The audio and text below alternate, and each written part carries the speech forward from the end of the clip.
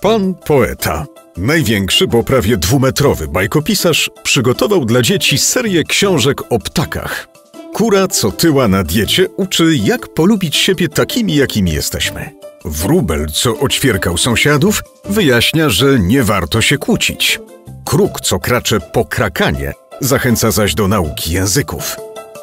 Te zabawne i mądre wierszyki z pięknymi ilustracjami spodobają się wszystkim.